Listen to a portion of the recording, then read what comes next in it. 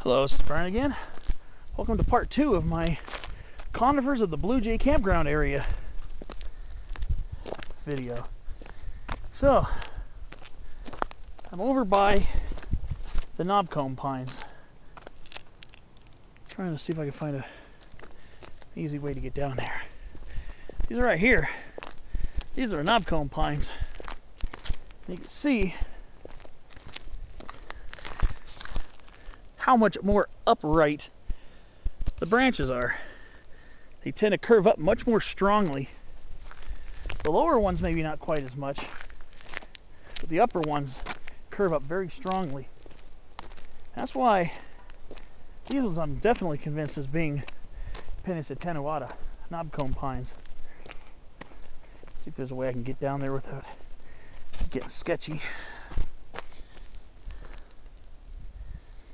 Let's see here. I don't have the really best shoes for hiking today.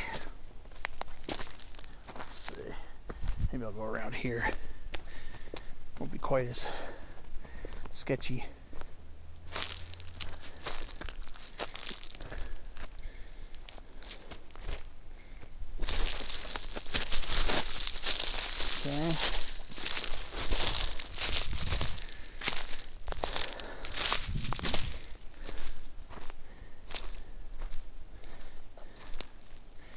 So, down here, got a mix of coulter pines and knobcone pines. This is a coulter pine right here.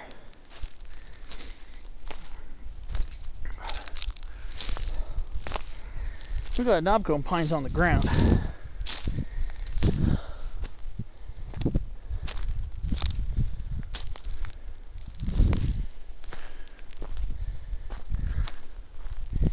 So here are the knobcone pines. Right over here. There's a knobcone pine. It, I do notice quite a difference. A little bit of a difference in the cones. So here's here's a knobcone pine. Notice the cones have much sharper much sharper claws that come out of them.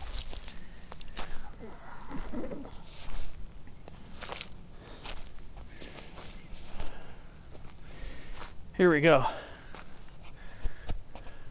These ones have very, very, very much more noticeable claws coming out of them than those other pines over there. That's well, I'm really convinced about these being knob cones. And look at the look at look at the look at the stature. A lot of times they a lot of times they branch near the base. That's not always the case, but seen a lot of them where they start branching near the base. And they're definitely these are definitely knob cone pines. They also do some of their branches do kind of sprawl out kind of kind of strangely. If you notice here, these uh, warty protrusions, I guess they call them the knobs of the knobcone pine, seem to come out much more noticeably. And knobcone pines, like a lot of the close relatives, including Monterey, Bishop pine, which are two other close relatives, they also have their uh, cones. Well, these are very old, unopened cones that grow very low on the main branches and sometimes even portions of the trunk. See, what this means is it is a semi, at least a semi-serotinous tree. Most of these cones stay closed for years and years, sometimes decades. Of course, they do sometimes open up a little bit here and there. As you can see, this cone opened up, but some of these cones have stayed closed probably for decades or at least many, many years. But again, if you look at the cone scales, you can see how sharp these are. So yeah, this is definitely a knobcone pine. They almost look like miniature coulter pine cones because they have those real sharp claws that come out of them. much like the coulter pine, but on a much smaller scale. This is a fairly mature tree. They don't usually get quite, they usually don't get very large here in Southern California. You definitely haven't seen them get very large here in the Santa Ana Mountains. They, we have native stands of them along along Main Divide Road from say uh, probably about a couple maybe about a couple miles south of Pleasants Peak to just past Agador Peak along Main Divide Road you got some stands over there but here's a younger knobcone pine you can see very, very conspicuous cone claws that stick out. Very conspicuous. Much more so than the, than the Monterey pine. And I think more than the bishop pine. But personally, I'm not familiar with bishop pine because I've never, to my knowledge, I've never actually seen a bishop pine. I'm surprised it's taken me this long, but I've never actually seen a bishop pine. But a bishop pine is another close relative of knob cone and Monterey pines. And here's a here's a whew, not a good view because of the sun, but I'm trying to show you. You can see you can see how the branches tend to go up much more on this pine here. So honestly, I'm still a little confused. Still a little confused about uh, the population of pines over there by Falcon Group Camp. They could have hybrid. They could have hybrid genes in them. Again, cone scales, very sharp claws coming out of them almost as sharp as the coulter pines, only on a much smaller scale, of course.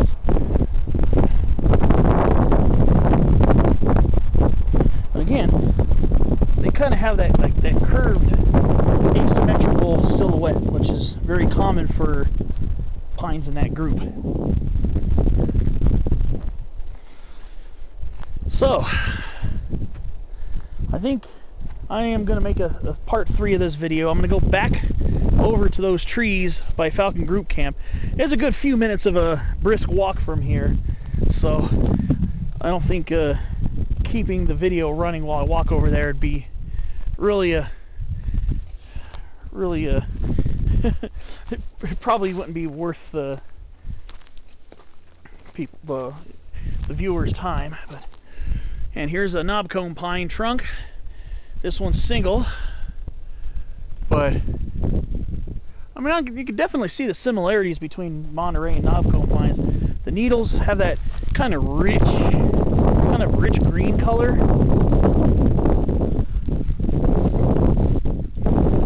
Both, both species have really rich green colors, whereas coulter pines have a little bit more of a bluish cast in their needles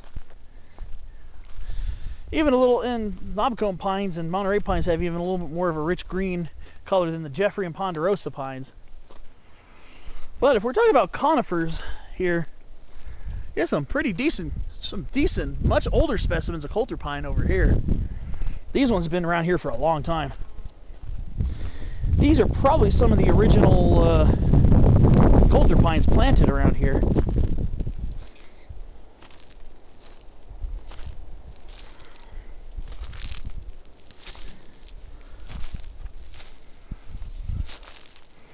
Here's one of the older.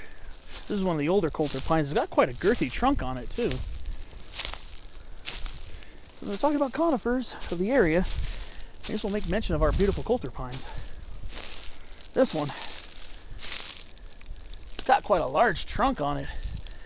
From there to there.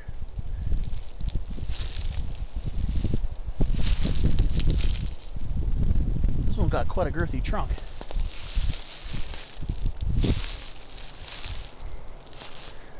There's some quite large coulter pines around here.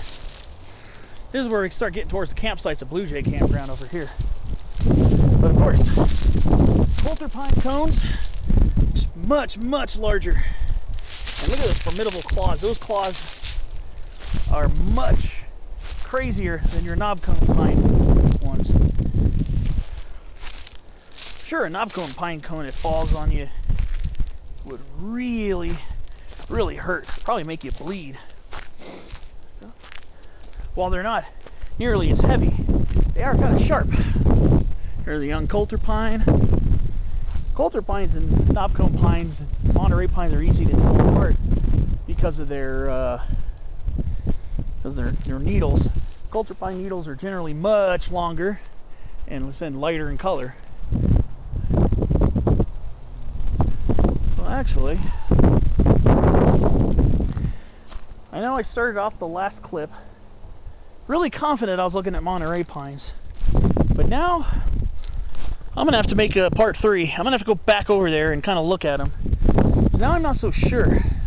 They can be hard to tell apart. But you can see, here's a young coulter, long bushy needles, shorter needles. Coulter pines and knobcone pines can be quite upright in stature. But I'm gonna go back to those Monter the the supposed Monterey pines. Take a look over there.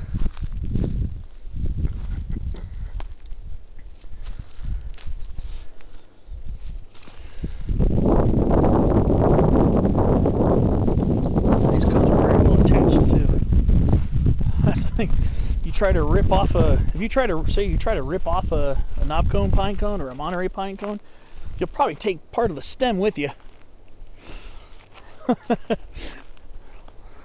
Thing about Serotiny, Serotiny, you know, the, the, the, the, maintaining of the cones being closed for lengthy periods of time, most likely because uh, they use fire as a way to open up their seed cones and drop the seeds on the forest floor and have everything grow back and regenerate.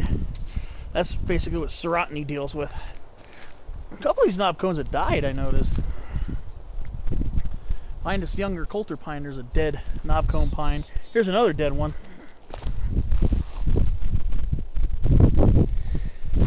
And here, here's an example. Growing on the main trunk. Not unheard of for the trees related to the knobcone pines to have their, their cones growing right on the trunk. Sometimes these trees and their close relatives, Monterey and Bishop pines, have been known to expand in girth and then consume the cones within the trunk of the tree. So that's been known to happen with uh, knobcone pines occasionally. So it's quite interesting. Very interesting. Alright, well I'm going to end the clip on that note. And in clip number three, I'm going to be back over by Falcon Group Camp I'm going to scrutinize those trees a little bit more and see if I can confidently say one way or another that I'm really looking at Monterey pines. I know they've been planted here in the, the Santa Anas before, but I really want to get a good look at the cones. Alright, I'll see you on the next clip thanks for bearing with me this far on my big essay on conifers here, but these trees really got me shook. I really love these trees. I really love studying them, finding out about them. These trees are amazing. Alright, I'll see you on the next clip.